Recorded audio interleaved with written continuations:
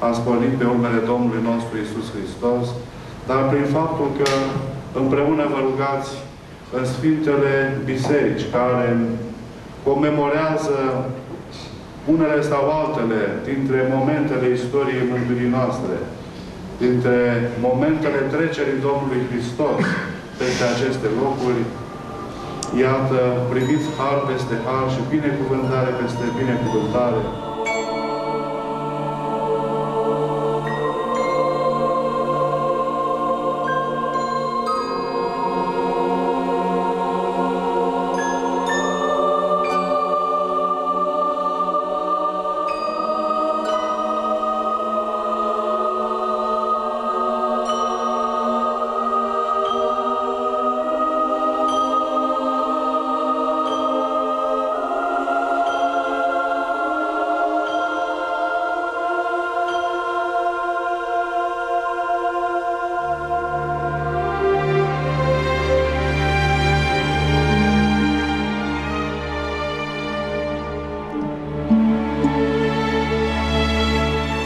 Evlavia din totdeauna a românilor față de locurile sfinte a fost însemnată. Și mărturia acestei evlavii stau darurile pe care voievozii, pe care oameni mai însemnați ai neamului nostru le-au făcut locurilor sfinte de-a lungul timpului. Însă, mărturie sunt și pelerinajele unor români care au rămas consemnate în istorie. Toate acestea au născut o sfântă năzuință în sufletele înaintașilor noștri. Au constatat că în Sfânta Cetate nu există niciun locaș unde românii să se poată ruga Patriarhul Miron Cristea, întors dintr-un pelerinaj făcut în Țara Sfântă, a hotărât să construiască la Ierusalim un așezământ românesc pentru pelerini. La 28 martie 1935, o delegație a Patriarhiei Române, condusă de episcopul Lucian Triteanu al Romanului, a pus piatra de temelie a Bisericii Românești din orașul Sfânt. Lucrările de ridicare a bisericii și a căminului românesc au început în același an, 1935, și au durat până la sfârșitul anului 1938, fondurile fiind alocate de statul român și de patriarhie, la acestea adăugându-se și contribuțiile multor credincioși din țară.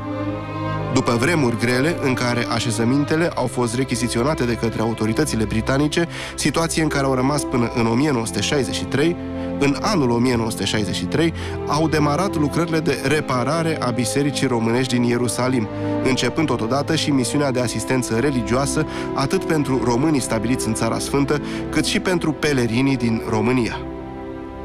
În luna mai a anului 1975, biserica a primit hramul Sfântul Mare Mucenic Gheorghe, fiind sfințită de către Patriarhul României Justinian Marina. Preafericirea sa a fost înconjurat de un sobor de ierarhi, din care a făcut parte și înalt preasfințitul mitropolit Teoctist al Olteniei, viitorul întâi stătător al Bisericii Ortodoxe Române.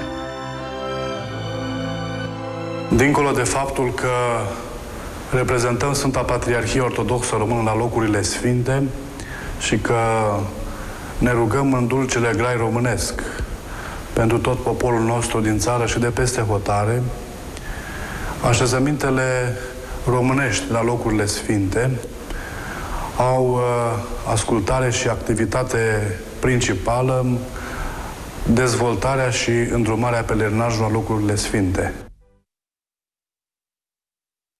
Tatăl nostru care ești în cer, sfințească-se numele Tău, vie împărăția Ta, facă-se voia Ta, precum în cer, așa și pe pământ.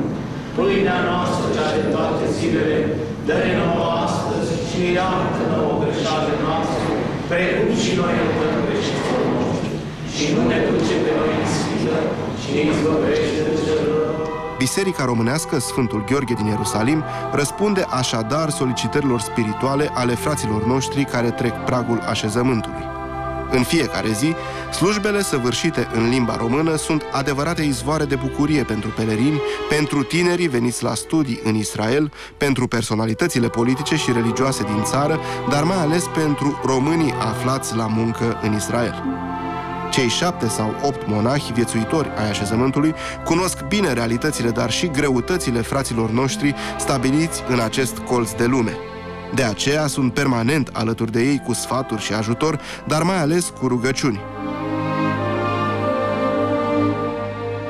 Cei care vin în pelerinaj, întorcându-se în mijlocul familiei, în mijlocul parohiei sau în mănăstirea din care au pornit, dacă sunt monahi sau monahii, sunt purtători acestui har al lui Dumnezeu care se imprimă în ființa lor întreagă, în sufletul și în trupul lor, în mintea și în inima lor, așa precum se imprimă harul dumnezeiesc pe care îl primește pruncul la botez.